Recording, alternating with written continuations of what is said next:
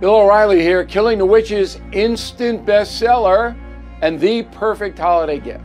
It's a book that explores the Salem witch trials, how this frightening chapter in America's history influenced the founding fathers and has shaped our country today. Killing the Witches, a must read history book. Find it wherever books are sold.